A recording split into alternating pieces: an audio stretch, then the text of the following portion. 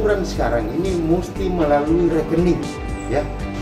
Mesti uh, pembayaran non tunai. Itu yang memberatkan sebenarnya. Dengan pembayaran non tunai ini coba bayangkan satgas eh, sat, apa namanya uh, lembaga adat cuma terima 100 ribu per bulan.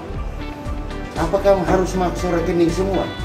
Nah kalau masuk masuk rekening bayangkan dari pantauan dia hanya mengambil uang 100 ribu di bank ini kan cukup mem membutuhkan biaya. Berapa dia terima? 100 ribu satu bulan. Demikian juga suruh lembaga adat hanya 100 ribu juga.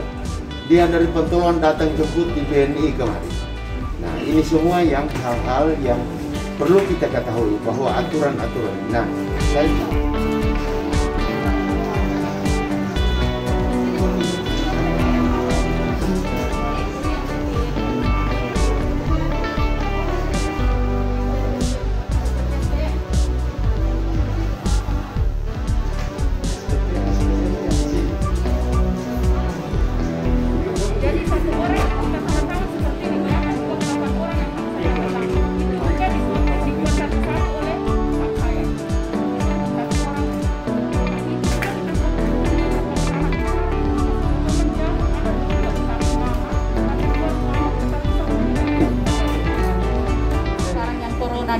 aja, di sini di kantor aja. Mereka tidak pernah pulang. Oh, di kantor ya? Ya, di sini di kantor saja. Mereka bekerja untuk melayani masyarakat. Jadi tolong hargai juga kami. Di sini juga tidak tidak hanya niat baik dan kerja keras, tetapi kita juga harus perlu ketelitian supaya kemudian hari kita tidak terbentur oleh aturan-aturan yang berlaku.